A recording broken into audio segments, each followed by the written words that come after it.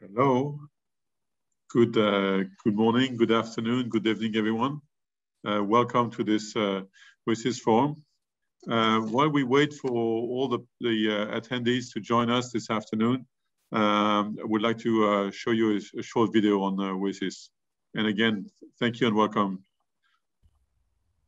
A multi-stakeholder United Nations Summit, the World Summit on the Information Society Forum 2021 was initiated in January and will culminate in the final week held from the 17th to the 21st of May.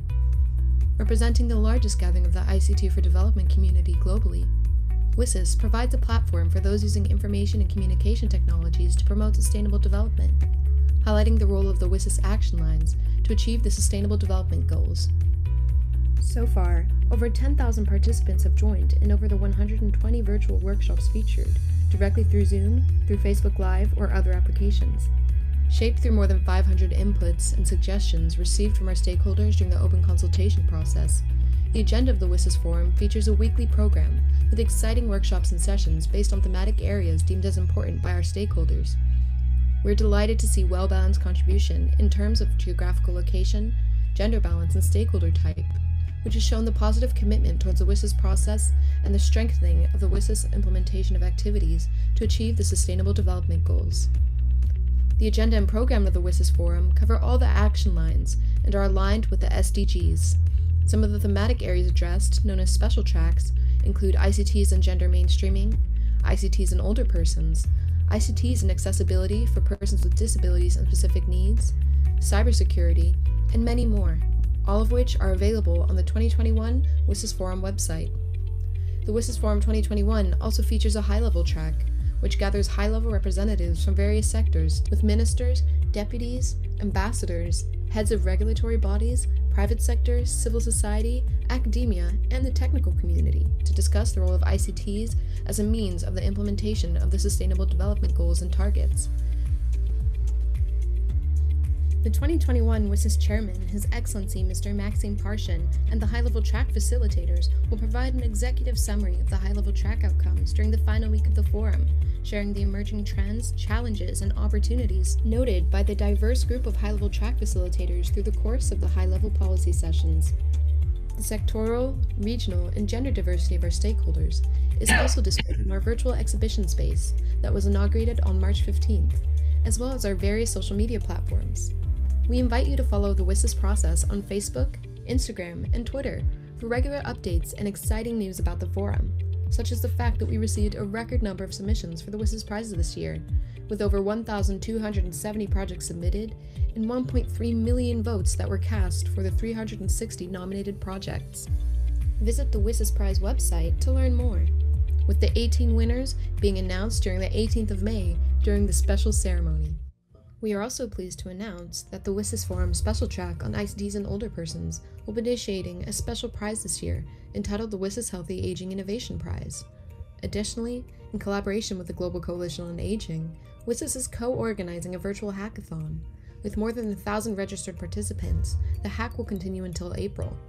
Hackers had the opportunity to meet with experts in the field of ICTs and aging during the three mentorship sessions featured.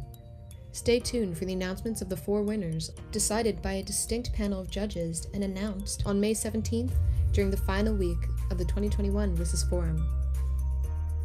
We look forward to your participation and thank stakeholders for their contribution in shaping this year's WSIS Forum with ongoing commitment and support. We would also like to extend a warm thank you to our partners, without whom this forum would not be possible. Thank you, and we look forward to a successful WSIS Forum 2021. Thank you very much. Um, I hope you all had the time to uh, connect and uh, I hope the sound and the video is, uh, is good. So uh, welcome to this uh, forum. Uh, today we're going to be discussing about how we can join forces in an innovative new device financing program. And the ambition is to make 4G even more affordable for emerging markets. And today we're going to talk specifically around Pakistan. Next. So um, the, the themes that we are going to address today are the following. We're going to talk about how we can address the migration from 2G to 4G and why there's a need to address this migration. We're going to talk about more specifically a pilot project of device financing that we are setting up all together, all the members of this panel here in Pakistan. And we're going to show how this regional cooperation and coordinated efforts have been able to drive digital inclusion in Pakistan. And more widely, we're going to talk about how this program is impacting society and more importantly, how we can make this program scalable. So the agenda, we're gonna go through a, a quick opening and introduction. We're gonna be addressing the challenges. Um, we're gonna be addressing uh, the issues being faced by uh, digital Pakistan and more importantly, how the first time internet users are facing problems in the migration from 2G to 3G and 4G. Um, we're gonna be talking about device price trend and usage behavior. And more importantly, we're going to be also talking about how the regulator can help accelerate this migration program. We're going to be also talking about nano financing. What are the strategies, the impacts, and how coordinated efforts can make this device financing happen. Um, and this is particularly interesting and especially important in the context where many of the customers may be lacking a credit rating and proper credit history. We're going to be talking about how to scale and how we can reach out to 2G users and make sure those device financing program can actually reach full-scale deployments. And at the end of the session, we're going to have a wrap-up and an open Q&A session.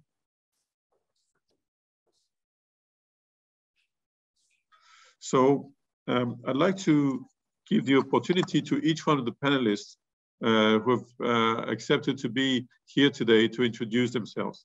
So we're going to start from uh, uh, left to right on this on this panel. So um, we're going to start with Mr. Asif Aziz. Please, if you could introduce yourself.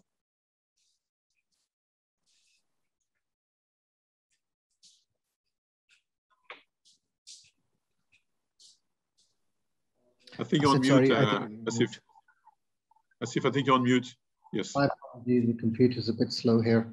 Sorry, thank you very much for that introduction, Nicola. My name is Asif Aziz from Jazz in Pakistan. Jazz is a leading mobile operator here, serving almost 70 million subscribers. Um, Abdul?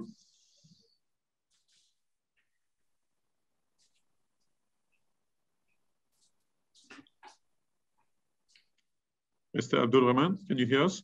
Yeah, sorry.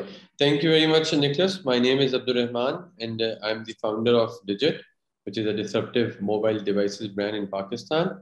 We have been working in different areas, including mobile broadband devices and especially the affordable 4G mobile phones. Uh, Dr. Khawar? Uh, thank you very much. It's a pleasure to be uh, the part of this session.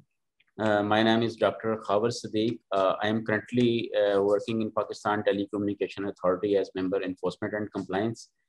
I have worked here uh, before as a member technical from 2009 to 13. So uh, Pakistan Telecommunication Authority is a regulator. We are responsible uh, for regulating the IT and telecom industry of Pakistan. And Mr. Kamran? Hi, good afternoon. Um, my name is Kamran Zubairi, and I'm representing Finja Lending Services. Finja is a digital lending platform with an integrated payments ecosystem focused on the financial wellness of businesses, individuals, and their partners.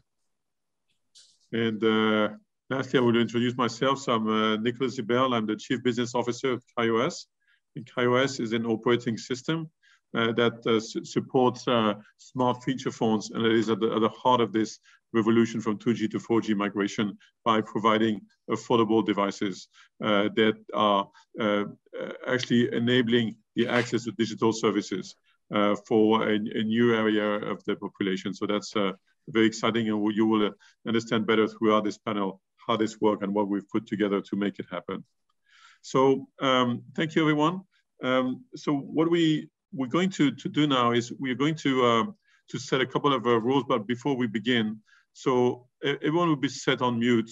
If you have questions, make sure you can go into the Q&A feature uh, and ask your questions in the Q&A.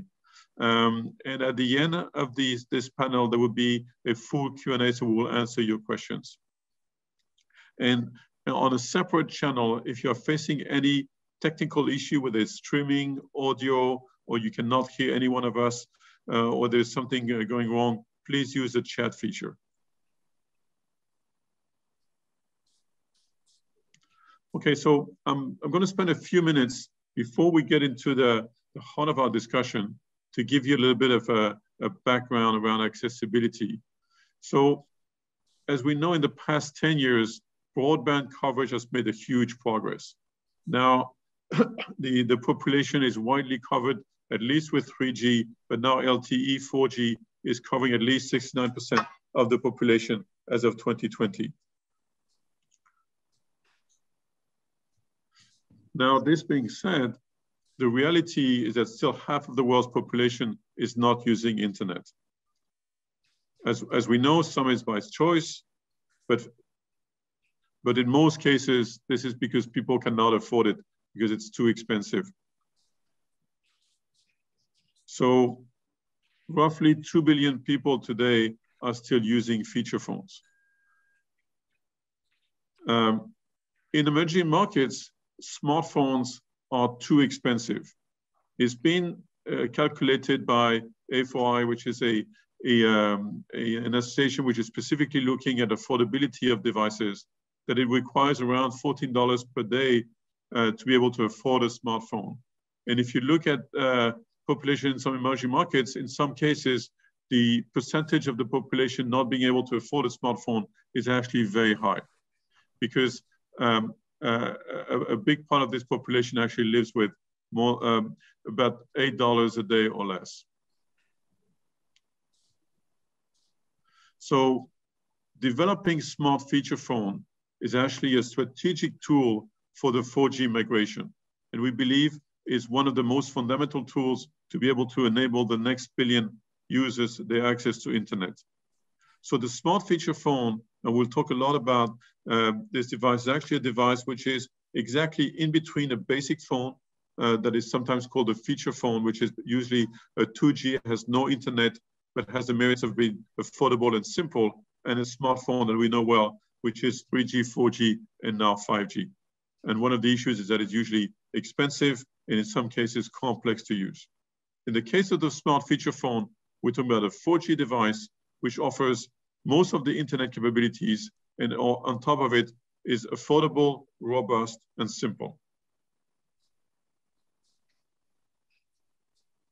So what we, we're going to talk about now, uh, as we see the, the price sensitivity around uh, um, uh, devices, and the, the, a couple of dollars can make the whole difference be, between being able to afford a device and not being afford a device. Um, I'd, I'd, like to spend just a few minutes to explain what we see as being uh, the key elements that are being put in place to reduce the upfront cost of the device. So uh, since the mobile industry has existed, the number one uh, tool has been operator subsidy. And in many cases, operators, operators are subsidizing 4G uh, devices. But this works well only in those markets where the carriers control most of the channel and most of the distribution. And of course, it depends on the, the subsidies available and it's not a mass solution for migration. The second solution that is being used, obviously, is to sell 4G devices in open market. Um, but here, there are some limitations specifically related to the fact that uh, it is in competition with 2G devices, and there's still a significant cost gap between a 4G uh, device, which, whether it's a smart feature phone or, or, or a smartphone and a basic phone. Uh, the third element that has started to be implemented is a device financing, which is led by third-party fintechs. And usually um, these fintechs have started addressing uh, the higher end of the market. Um, but the consequence of, of, of, this is that the monthly repayment for the end user is sometimes unaffordable.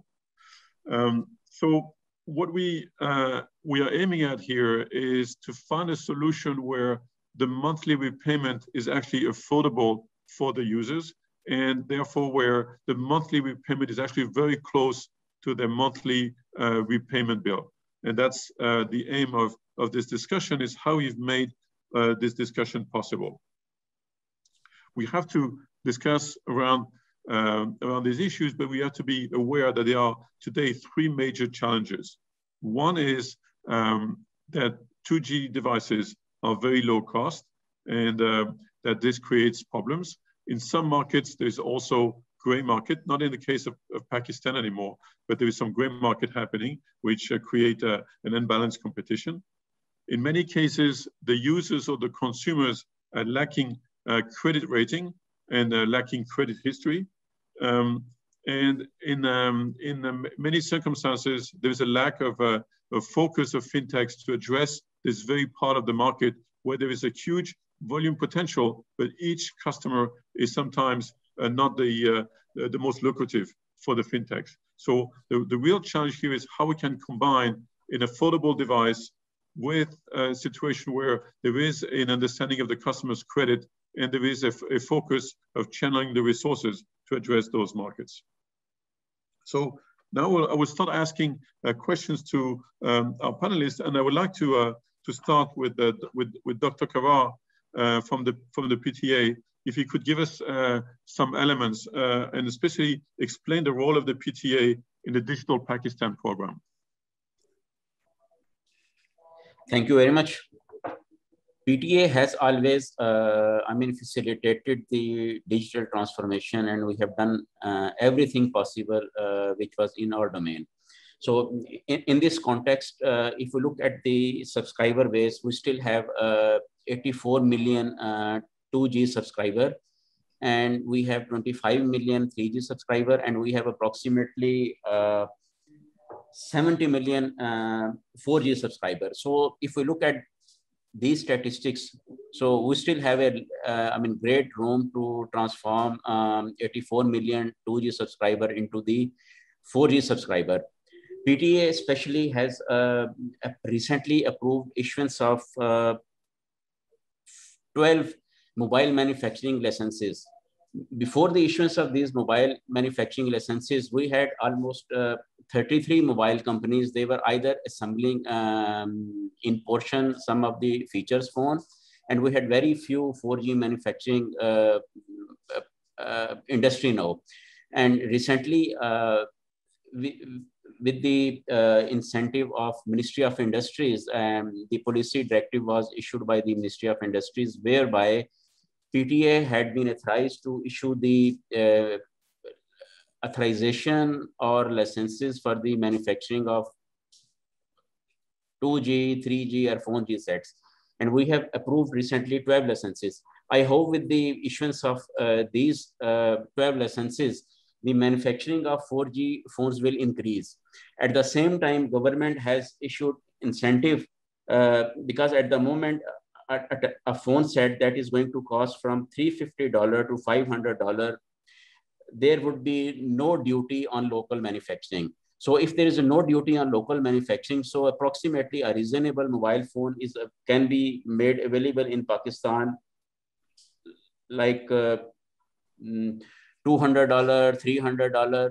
So with the local manufacturing, the price of the mobile phone are going to go down. Obviously, there would be some custom duty on those high-end phones, but probably high-end phones uh, if we look at the statistics, most of the people uh, can purchase a local manufacturing phone. So that step Pakistan has, uh, Pakistan Telecommunication Authority has taken. On top of that, if we need to encourage the local manufacturing, so we have to, spot, to stop the those phones which are coming through illegal channels. So in order to carry out this process, Pakistan Telecommunication Authority has developed a DIRB system, which is device identification, registration, and blocking system. The main feature of, of this DIRB is any phone which, which has come into Pakistan through illegal channel that will be blocked. Any other substandard phone uh, would be blocked and clone phone would be blocked. Any phone um, which do not meet the technical standard, that phone be blocked. So if we are blocking all those phones which are coming through the legal channel, so obviously the price of the phone would be regulated and local industry would be encouraged to manufacture uh, low cost low cost telephones. So that is the step which Pakistan Telecommunication has authority has taken. On top of that, with the implementation of DERB system, the type approval process type approval process has been automated and we can issue type approval certification within two to uh, with, within two to three hours. Before that, I mean, any importer which was importing a telephone from the overseas had to go through a process of submitting documents visually and getting a certificate of compliance from the PTA and getting clearance from the custom authority. It's going to take like, uh, it was taking 12 days, 13 days, 14 days. So that process has been expedited with the implementation of a DERB and the whole process can be completed within two to three hours. So that step Pakistan Telecommunication Authority has been has, has taken with the implementation of the DERB. Type approval certificate issuance has been expedited. So before it used to take like three, four days. Now we can expedite this process. We can even issue a type approval certification within, within one days, provided the technical specifications are met. So if we have expedited all those processes, that is going to encourage the import of phone through legal channels. And if we stop the illegal channel, that means the not only the revenue of the government of Pakistan would increase, increase, but at the same time, the local industry would be encouraged to manufacturing the low cost mobile phones. So, so th these are the two steps which the Pakistan Telecommunication Authority has taken in transforming the 2G segment into the 4G segment. Obviously, some some of the steps we are taking because uh, not only a major of the majority of the population have a issue of uh, affordability of the 4G phones, but still there are some population pockets which are not covered with the uh, 4G services. Though mobile operators have launched 4G services, but still uh, with the renewal of the licenses, so we have uh, um, included some licensing condition whereby a mobile operator would be required to offer more 4G uh, coverage. So we hope that uh, offering of a 4G services in, in those population area where there is a lack of service and availability of the uh, affordable mobile phone through local manufacturing would encourage and it would bridge the gap between the transformation of 2G to 4G. Okay, thank you, Dr. Khawar. Um, thank you very much. Uh, um, uh, Mr. Aziz, uh, a question for you. Uh, uh, so you, you uh, represent Jazz here. Can you give us a little bit of a background around the, the number of customers that you have today on 2G and 4G? And what is your 4G coverage of Pakistan? Thank you, Nicholas. Uh, today we are just below 70 million subscribers in total. So, uh, which is uh, effectively one in third, one in every three Pakistanis is actually now connected with Jazz. Within that, we've probably got about now 29, just over 29 million 4G users. So that's uh, probably a lot less than half of the base is on 4G, and then we have the remainder onto 3G safe to say it probably would be about 50% of the base is on internet, whether it be 3G, 4G, or some degree for 2G. That is not really good enough because that really means a bulk of Pakistan remains unconnected. And uh, what I now observe and I see in our own network is an enormous digital divide arriving. Uh, those living in urban areas tend to be a lot more connected with uh, smartphones but those living in rural areas are getting left behind. And specifically within that, there are specific rural communities, and I'm talking here notably females, women, uh, are under indexing in the use of smartphone and on data. And it doesn't take me to tell you how limiting that can be for an individual and how much damaging that can be to their lifestyle. Um, this corona pandemic has shown the importance of being remaining connected uh, so that in itself is a, an enormous challenge for us. With regards to the 4G, almost 87% uh, of our network is now 4G enabled, and we're rolling out 4G sites every particular day. So that will continue till we get to 100%. There is a real challenge here. I have to confess, we do work with the government of Pakistan and their Universal Service Fund to be able to go to the much more rural communities of um, Pakistan in the more expansive des desert areas and in the more difficult terrain of some of the mountainous regions of the north, where quite frankly, there's probably still at least 20 to 25 million people who aren't connected onto the internet. So in a country uh, connected at all to mobile, so in a country of 220 million people, there's probably at least 20 million people who are not even able to access these basic services. That, that is, doesn't sound like a lot in the context of Pakistan, but 20 million is many, is bigger than many countries. So it is incumbent on us to be able to go to those uh, far-fletched areas as well, to be able to cover them as well. What we are noticing though, there is an inflection point arriving. I think now we've seen a greater acceleration and migration to 4G than we have done in any previous year. Last year was a great year from a growth perspective onto 4G. Uh, we've been adding over a million customers onto our 4G network each month. But again, um, at that rate, it will still take us another two years before we can get, every, get to everybody. So we've got a lot of work to do to be able to connect more people to the internet. The unfortunate thing really in this is my, my challenge isn't getting any easier because whilst we add a good number of 4G every single month, I'm also adding the same equivalent onto 2G as well. So whilst the 4G is growing, regretfully, the 2G isn't shrinking, it's actually still there. So that is the major concern. And from all of the work that I've done here with our customers, uh, different people that I speak to, affordability seems to be one of the major barriers people get very nervous that if I get onto the internet, my, my uh, balance will run out really quickly or my bill would be sky high. So getting them onto that. And the second thing onto that really is, unfortunately, people pick up a cheap phone for less than three, four dollars, but a smartphone uh, for internet is a lot more expensive and a much, much more considered purchase. So that also prevents them from coming onto the actual 4G service. So 2G is a lot easier migration for most people. 4G really does require them to take a considered step. What, what are the solutions to bridge the gap, Asif? So we've taken the lead here with, uh, uh, with, uh, the 4G digit phone that we've been launching, which has got the KaiOS operating system. And, and on, honestly, we've been actually marketing this to the particular segment that we want to talk to.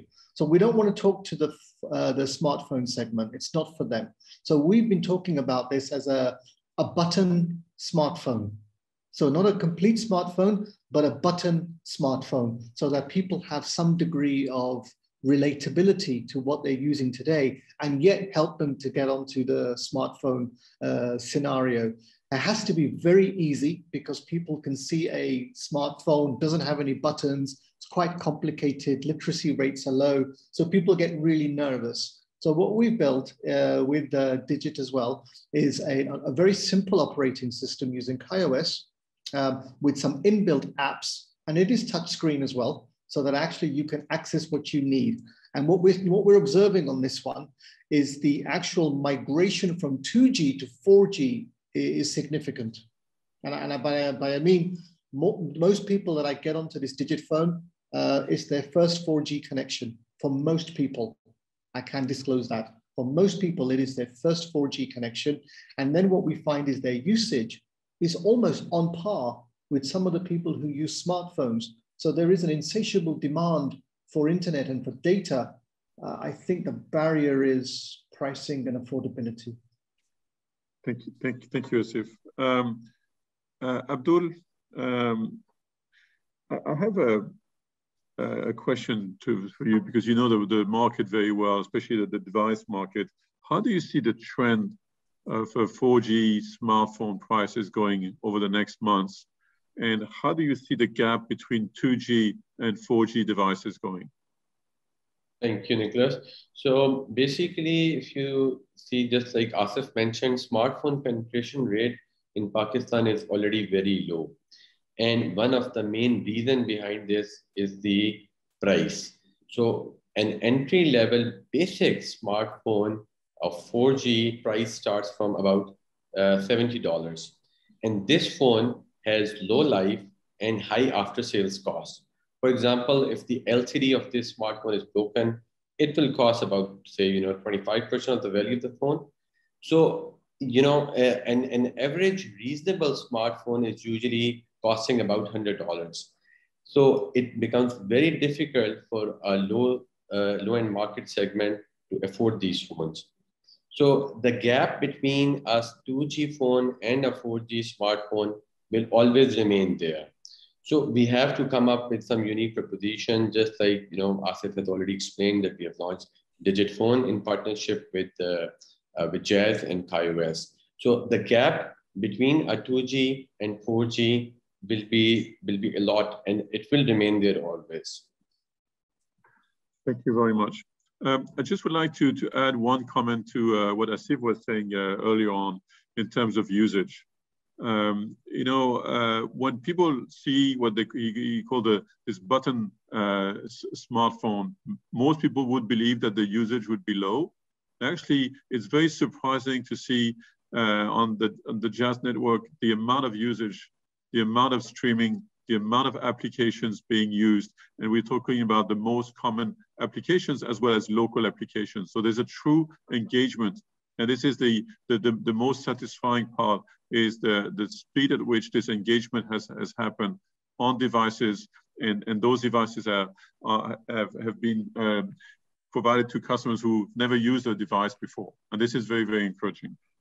Um, what I suggest we do now is we shift to the second topic, which is the nano financing topic. And I would like here, uh, uh, uh, um, Asif again, if you could step in and explain to us why is uh, consumer financing so important in your strategy to migrate uh, 2G customers to 4G customers? Thank you, Nicholas. So yes, this is vital. Uh, what we've observed is, and we've we, have we have had a few attempts at this. It's not like we're not trying it ourselves as well. We've had a few attempts. What we're observing is two things. One very important thing is the market in Pakistan is very fragmented. Uh, you have retailers that just sell airtime and only want to deal with airtime. Then you have retailers that actually sell handsets and only want to deal with handsets, and, and, the, and the two don't actually meet.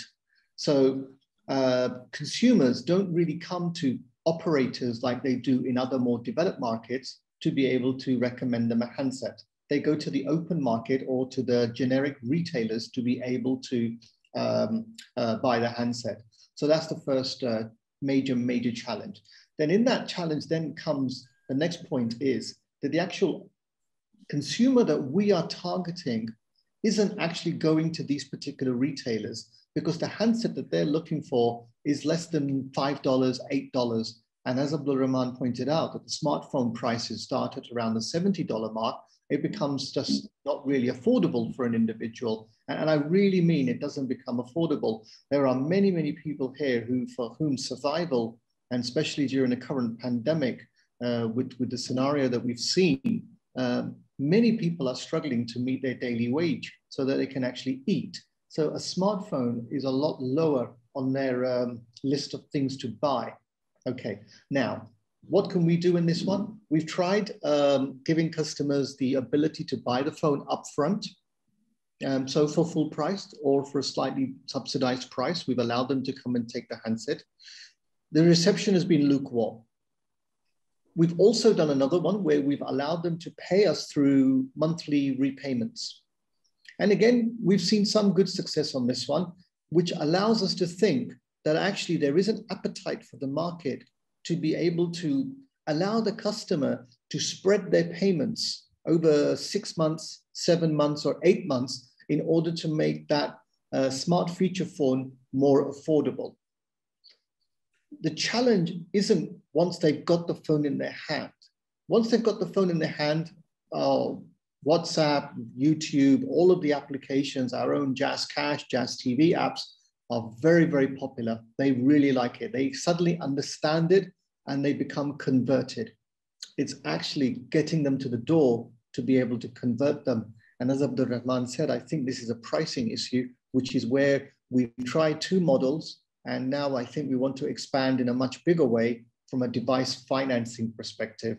Of course, this is a very uh, different market to many mature markets. There's no real credit scoring. There's no recourse if you do not pay your uh, balance back. So we are working with the PTA here to be able to work out a mechanism to be able to use the DIRBS system to robustly block and uh, recover the investments that we make so that the legitimate people who want to come to the 2G, 4G conversion are not excluded from this. and actually there are rogue elements that we can actually exclude from this particular scenario through some sort of robust governance. Thank you. Thank you very much. Um, I'd like to, to um, Kamran, you, you've not uh, spoken yet, but I think it's very important that uh, as a CEO of Finja, you give us uh, a view of how do you handle the fact that most of the customers that we are addressing here do not have credit history or credit, credit rating, or at least a very limited credit history. How do you tackle this issue?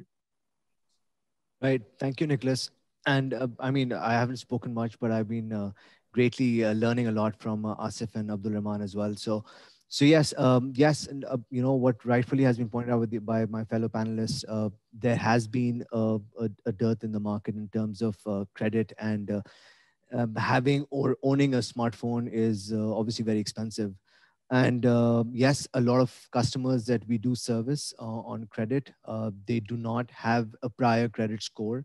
Um, but what the government has made it very um, sort of simplistic is that the issuance of a smart national identity card allows, which is uh, predominantly the, the, the precursor for any banking or any uh, uh, service that you require. You, an individual needs to have that uh, computerized national identity card. So it allows us to actually build the credit score on their behalf. And that's something that what Finja Lending Services as a non-banking financial company is set out in doing. And that is to serve the underserved segment of the economy and lend to that particular segment so that the, those individuals who previously do not have any avenues of borrowing money from uh, conventional means can come in a into the banking net b be you know accessibly uh, can access uh, credit and uh, affordability would go up.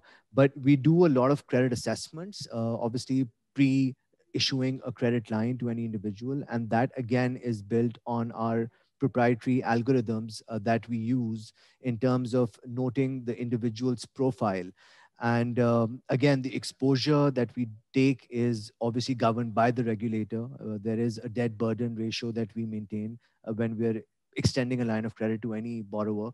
And uh, in line with that, we're okay and we feel comfortable in actually taking that first call in building that individual's credit history. So we don't really, uh, you know, take into account that that individual does not have a credit history. We do run the the, the computerized national identity card number through various regulatory checks, such as data check and such as the ECIB, which the, the regulator has already set up uh, on the financial side. And, um, you know, based on no credit history, we don't have an issue. If there is a poor credit history, then yes, that's a red flag. But if uh, an individual does not have a credit history from before and they do qualify in terms of their profile for a credit score, we, we are comfortable in actually extending that line of credit to them. Thank you very much, Kamran. Um, just one more question. Um, how closely do you need to work with uh, Jazz to make this happen and to improve your knowledge of the customer? Well, it's super important. You see, uh, with with any partner, it has to be a complete integration whereby extending a line from our side is not you know, for us, we don't consider that to be a bigger challenge as opposed to repayment of that credit. And uh, what uh, you know, Asif was talking about earlier as well, that we have seen great success in terms of breaking down that payment into equal monthly installments. Now, to ensure that those equal monthly installments are coming in, that's where the challenge comes in. Obviously, we don't have access to that um, individual's uh, telephone. We don't have access to the mobile number, um, mobile phone. So locking that mobile phone at a time when he or she is not making good on their equal monthly installments is very important. And with a telco such as Jazz, that partnership actually uh, fulfills where the telco is able to lock or a, I mean, a lock it or b track the individual where they are in terms of uh, accessing them for a recovery should they be delinquent on their credit line. Okay. Thank you. We, we all heard how important it was to have the support from the regulator. So, uh, Dr. Khawar, could you give us uh, the position of the PTA concerning device financing? And um, how do you see uh, this as being an, an important part of uh, the strategy to, uh, to the migration into, into 4G? Yeah, we still feel, I mean, there is an uh, element of affordability uh, in respect of the 4G phones, and there is a segment of a population which cannot afford, I mean, 4G phones. It's, a, uh, I mean, it's a good initiative, and uh, we will encourage um, either operators or an, any other entity which is willing to provide mobile phones on uh, installment basis we can block those phones. But the issue is, I mean, the authority has to work within the uh, act and within the regulation. So at the moment, uh, we can block block any stolen phone. Anybody, I mean, um, who request us that his phone has been stolen, that can be blocked. But at the moment, if anybody owns the phone, because the issue with, I mean, we have received a request from different operator. Uh, they want to handle this process, uh, I mean, in a two to three, uh, into two, three, three steps. Um, if i mean for us there is no issue. We can block a phone if that phone is owned by any operator. Any operator if provides a phone to subscriber and if the ownership of a phone remains with the mobile operator so that they can request us to block the phone and we are going to block that phone immediately. I mean there is no issue for that. But there are some policy issues because some of the operators have requested pakistan telecommunication authority. If i mean there is a default on part of a customer the sim should be blocked I mean, blocking is a SIM for uh, all the mobile connection, I mean, little bit, it has some challenges because we technically view that it's a commercial agreement between any entity which is providing a, a, phone set to the to the customer. So before providing a phone i mean it's a credit history has to be checked i mean on part of uh, on part of the the one entity either it's a mobile operator or any um, any company which is providing a phone on installment basis. But for us, I mean, as long as the ownership lies with the um, commercial entity, we can block a phone. So we have taken taken up these initiative and we are working to have a policy direction from the government of Pakistan, whereby either we can block uh, a SIM because at, at, the moment we cannot block a SIM. We don't have any mandate to block a SIM if there has been a a disagreement or there has been a violation in terms of a commercial agreement between mobile operator or anybody which is providing a phone to the customer on the basis of installment. So if we get some, some policy direction from the government of Pakistan, we can do that. But at, at this point in time, we cannot do that. Plus, we have uh, we have uh, submitted all those recommendations and we have forwarded these recommendations to the ministry so that we can get an appropriate policy direction. But obviously we will encourage and we will facilitate and we are happy. I mean, this, if, if this, I mean, this on part of either mobile operator or on part of any private company who's willing to provide a phone, they provide phone and installment. We will encourage, we will facilitate, but currently, if we see, I mean, uh, some of the mobile companies, they are providing these phones on installment at a not full level, at a low level. I mean, they, they provide and uh, they can block that, uh, that phone on their own network. But the issue is they want us to block a total SIM. I mean, if, if the phone is not on their network and if, if anyone purchases a phone on installment from Jazz, if he's a defaulter, so that phone Jazz can block. But if he's a defaulter, that if any mobile operator asks us that this phone should be blocked on another network, so that is a little bit challenge at the moment. And we are working on this one on positive basis. And hopefully after this policy direction comes from the government, this can materialize. But at the moment, PT has no objection. If any, any private company, if any of the mobile operator, they provide a phone on installment, and if the ownership is still lies with the mobile operator or a company and they request us to block this phone under the stolen devices, we can block that phone. Okay, thank you, uh, Dr. Khawar. Um, we, are, we are a little bit uh, short on time, so I will uh, switch to the next topic, uh, which is very important, is all of this makes sense only if we can scale.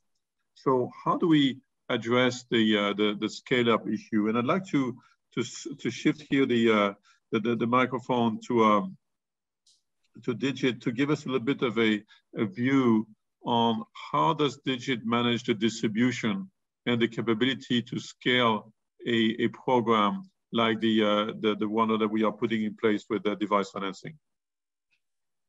So, uh, Nicholas, basically, uh, we currently see we have you know a couple of different options for distribution that we are adopting.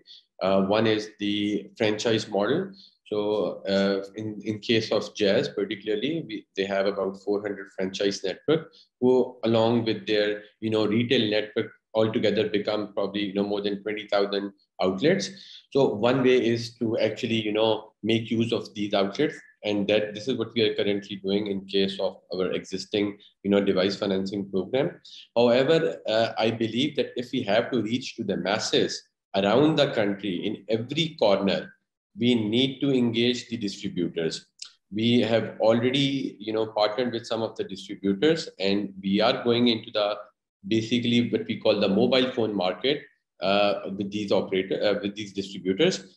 And I personally think that even the device financing program, if we have to convert these 80 million people, these 80 million 2G people, I repeat, then we need to have these distributors on board who can actually take us to every corner of the country.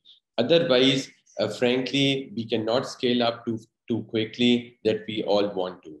And uh, if you if you see today, um, I think about more than or you know you almost 100% of the phones are practically you know sold through the mobile phone markets they're not sold at, at the uh, at the mobile operator you know outlets so the major uh, you know customer inflow is in the mobile market in the mobile shops. So we have to reach there. We have to ensure that our device financing program is run at all these shops. And this is where we would be able to actually you know uh, to, to fulfill our dream of uh, you know connecting every uh, you know um, every individual in in far flung rural areas to to to connect to the digital world. So we need to bring on the distributors, more and more of them, and uh, we need to, you know, uh, make our uh, technical solution viable in a way that they can ensure that the device financing program can be run at, and, uh, at every mobile outlet. Okay, th thank you, Abdul. Uh, Asif, um, I'm sure that the cost of data and the capability to have data plans that are suited to this migration program is critical to success. Can you give us a bit of a background of how you see data and the data pricing and data usage in this context? Sure, Nicholas. So Pakistan is already one of the lowest priced data markets in the world. Um, the average revenue per subscriber in Pakistan on a weighted average mean basis across the country is probably um, maybe a dollar fifty, less than two dollars. So we are, uh, you know, per month. So, and for that, the average mean average usage on some of the other products that we have is, is in excess of five gigabytes, which gives you an idea of the sort of level of pricing. I don't believe the actual usage pricing itself is the is an enormous barrier because I'm sure people could afford to spend, uh, and I'm talking about 50 to 60 dollar cents worth of money onto be able to get access to the data. However, with the product that we sell right now, it comes bundled in with immediate availability of free WhatsApp, um, some other free Facebook as well. We also give some free airtime. And uh, in the packaging that we have right now, when the customer subscribes to us every particular month as they uh, pay off their installment, they get an inclusive amount of free data as well, up to two gigabytes of data as well, which at the moment seems to be honestly not enough. Um, there is an insatiable demand here. Uh, people are really uh, latching onto it. So it, it just leads me to the point that says that Pakistan is at a tipping point. Yes, we've talked about the numbers, less than 100 million people are using data uh, we are at an inflection point where we can actually materially change this. And I think making the device more affordable and getting into more hands, as Abdul Rahman was talking about, through the various distribution is what is actually needed. So actually the usage itself is secondary, but actually it's getting them to psychologically get over, instead of paying $10 for a phone, getting them to commit to a $40 phone or a $70 smartphone. That's the biggest mental barrier uh, we have here today. The option to take a $10 phone is still there. And if I was to do anything, I would probably stop the import of 2G phones. I would definitely look at stopping things like that. I believe that everybody should be getting onto the digital uh, services right now. I don't think it's, I, I don't even think it's a, uh, an essential. I think we're in a broadband emergency. Half of our population is not connected onto the internet. So How are they going to disperse cash? Then comes all of the other options of mobile financial services to be able to get uh, entertainment. There isn't much entertainment in Pakistan, not in the evenings. There's no cinemas. There's nowhere to go. So most people's entertainment is actually their handsets. And so it is important that we actually drive this. And I believe this can also support much of the government vision on digital Pakistan. The more people that we get connected, uh, the quicker we can accelerate the digital Pakistan uh, vision. Pakistan was very late into the data market. Data only arrived here in 2013 in the, in the term of 3G, and 4G really only started to emerge probably about 2015. So we're significantly behind, but we're catching up very, very fast. In just five years, we've managed to, you know, with the support of PTA, we've managed to put on more than 80 million 4G subscribers. So we can grow very, very quickly. But now we're getting to the point whereby we've got all the low hanging fruit. We now need to go to the long tail. And in order to get to the long tail, um, we have to make them get the leap of faith that this is important for you. And I think that leap of faith is should I pay $10 or should I pay $40? And it's just getting them over that barrier that, that I think is going to require a little bit more work and scale. Definitely. Thank, thank you very much, Asif. Uh, one more question before we get into the, the Q&A session. And here I'd like to ask uh, Kamran again his view. Uh, how difficult is it for you to scale up a program like this? And more specifically, how difficult is it to find the funds to, to finance uh, these customers? And what has been your experience in, uh, in finding the funds for low income customers? Well, not at all. Actually, funding is not, uh, you know, the bigger challenge uh, at all. And um, you know, subsequent to, uh, you know, all the lending that we have done so far, which is north of ten million dollars in the last uh, eighteen months, uh, not all for consumer lending. Uh, there's predominantly a lot of B two B lending as well. But you know, there are plenty of institutions, financial institutions that are looking to partner up, um, you know, to set up a platform. And that's what we are. We are a lending platform. So we are open to partnering up with existing financial institutions. Our existing uh, VCs are uh, very gung ho on consumption lending in Pakistan. And, um, and and yeah, so I mean, funding is not that big an issue. I think what's more important here is creating the right partnerships, building the right credit scores, and and finding again partners to collect. And uh, historically, we have uh, partnered up with uh, not just uh, banks uh, within the country. We've also partnered up with various logistical concerns who collect on our behalf uh, as far as you know monthly repayments are concerned. So so yeah. So I mean, you know, for for scaling in consumption lending, it's not that the funding is not much of a challenge as much as uh, allocating the right credit scores and uh, collection of those uh, of those uh, loans. Perfect.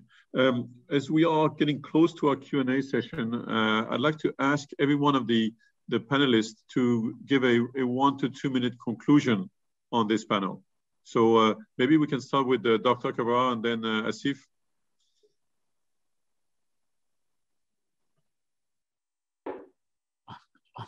I think uh, uh, the best approach to, I mean, uh, transformation from 2G to 4G phone would be that there should be more uh, commercial entities. They should come up with the offering of installments to subscriber. Moreover, uh, what what can be done? I mean, immediately is that operator should start offering mobile phone on installment because really um, the issue is at this point in time is that mobile mobile phone companies they don't i mean really advertise too much and uh, they need to have uh, not only packages but they need to have attractive installment plans so that they can offer through their franchisee they have got big network of franchisee and instead that people should go to uh, different shops and substandard shops. They can come to mobile operator and they can have their attractive pricing so that uh, they can have phone on installment. So at this point the mobile operator can play a major role. If mobile operator can offer this kind of installment plan immediately because they have got wide uh, franchisee network and customer centers, so there's no issue. I mean, if there is a default on part of the customer, the PTA can block immediately. plus other uh, companies, they intend to offer a plan for um, offering the mobile phone on installment. They can check the credit rating and they can immediately start offering the phones. And if that phone keeps keeps ownership name with them, they can come to PTA and PTA can block immediately. Plus on top of that, there is a, uh, not all the population is covered uh, with 4G services. So if we want to transform and we want to attract the 4G customers, so mobile operator have to expand their footprints so that uh, the facility of 4G services can easily be available. So I think these are the, these three points. If we work, um, I mean, efficiently on those, so we can overcome the challenges and we can uh, quickly transform the uh, 2G segment into the 4G segment. Okay, Asif? Thank you. Uh, I'm just going to add that actually uh, it's not just about the operator giving a subsidized phone and the regulator blocking it when I ask them to.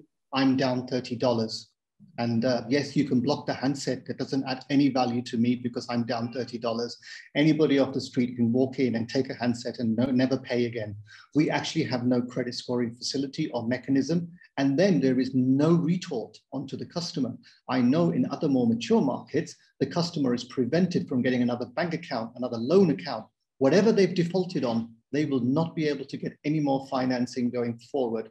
In a country where banking population is very low, we have to look at much more creative solutions to be able to provide uh, the actual repayment to the customer. And hence we are working now with Finja and other entities as such. Thank you. Abdul? Yes, so uh, I think just like Asif earlier mentioned that we are right now in the era of you know a broadband emergency. So we actually have to see how to improve the overall internet penetration, and for this, uh, all the you know public and private stakeholders have to come together and you know uh, work, work towards a direction where we can actually you know remove the barrier of affordability. Device financing program. I would like to add that it can have an immediate impact on the improvement of affordability factor and you know uh, we, we, we can easily migrate people from 2g to 4g but again you know uh, one major role is lies with the regulator which is again pta here and you know they have to safeguard the financing of the financier uh, by blocking the you know the, the phone and along with the phone the sim cards so that the defaulter actually is not able to use any SIM card or any telecom service in Pakistan. And this is where you know the financier will be happy to invest in the country.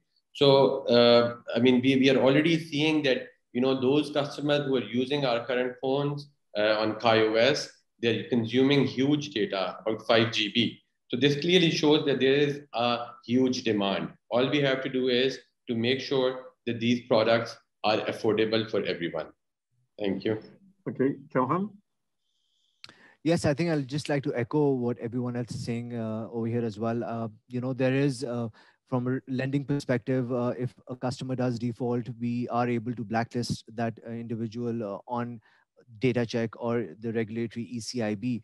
But, but you know, for device financing, I think I strongly feel that um, having that individual not be able to obtain another SIM card from any other operator is uh, something that will always be on the top of mind for that particular individual. And again, you know, in, in the private sector, we have a lot of collaborations. We work with uh, we work with each other. The, you know, the various non-competes that we do uh, as it is. But at the government level, you have one national account uh, accountability and database regulatory authority who control the the national identity card. Now that ID card is not just used to purchase or uh, register to a SIM card, but that's also used to open a bank account or obtain a loan. So at that level, at the government level, if the ministries can somehow collaborate and block it on the CNIC level, which is a computerized national identity card, at that time, it's very easy for financiers and service providers and operators to actually ring fence that credit facility so that we can start scaling and the borrowers know that should they default what lies ahead is something which is completely in the stone ages. So so yeah so i mean you know we're happy to lend we're happy to extend this facility uh, for the betterment of digitizing the country and the population at large is a huge opportunity, as mentioned in the panel uh, discussion already. But uh, again, a key element is what do we do if an individual runs away? Because I completely second what Asif said earlier as well, that the financier is down $30. What do you do if the guy is never showing, showing up and he goes to another operator and gets another SIM card or another telephone and does that time and again? So, you know, it's, it's it's our NPL from a financing perspective that goes up, uh, which does not make any economical sense to finance in this segment going forward. Okay, thank you very much. And as a conclusion on my side, uh, at KaiOS, we're very happy to be uh, providing the uh, operating system as well as the locking mechanism uh, and to be working with uh, all these partners to make this happen. We just uh, we just started. We are about to have devices with these lock mechanism coming to the market and it's it's an exciting journey. So thank you everyone. I think now we have time for a couple of questions in the Q&A. Um, I think there's a question for you, Asif, about the acquisition of customers. Do you want to, to take this, this question? Sure. Uh, yes, let me just.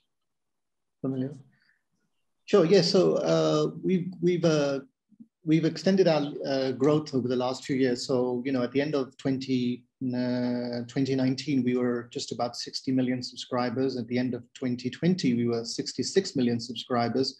And now we're about to be 69 and a half. Yes, a lot of it is coming from new customers, but actually our great job has been on the retention. We have a very good churn rate in the industry. It's around 18 percentage points for a prepaid market that is leading. Uh, but we've got a very data analytical led uh, retention policy. So I've got a whole bunch of data scientists who sit behind there uh, and actually work out new algorithms and models to be able to serve the customer's needs uh, more closely. And as a result of that, I believe the engagement levels that we've had with our customer is what they're actually wanting. And of course, uh, a churn rate like that indicates that the products that you're providing are what consumers need. And uh, the JazzCash platform is one something that's very important. Many of our customers also have the financial services services from us as well. Perfect. I think there's one more question that just popped up. Uh, I think it's a question for you, uh, Abdul, is what is the role of taxation? Maybe Abdul and Oasif, there's a, what's the role of taxation in the device affordability in Pakistan? Um, let me start uh, with that before Abdul. I think uh, there is something here on taxation that we probably haven't covered, but I, I do believe that when Pakistan's telecoms market is quite heavily taxed, when an individual purchases a SIM uh, card, they are taxed on the card and then they are taxed again on the usage. And I, I think things like that are quite prohibitive. About 18 months ago, the government did reduce uh, through a, a legal uh, perspective um, taxation, and we saw usage increase quite dramatically at that particular time. So much so that we had to actually build a significant amount of extra capacity to be able to serve consumer needs. So that shows you the appetite and the demand there that we have from consumers' perspective, and also from a taxation. Yes, there are taxations on handsets, but I do believe there should be extra relief uh, to be able to upgrade from 2G to 4G. And I think conversely, uh, I know it may sound perverse, but I would tax 2G even more to be able to discourage it. I know that might go against everything, and it's maybe the poorest of society who need the 2G phones, but we need to discourage 2G. That is a 1990s technology. We're in 2020 now. We need to encourage 4G adoption. Thank you.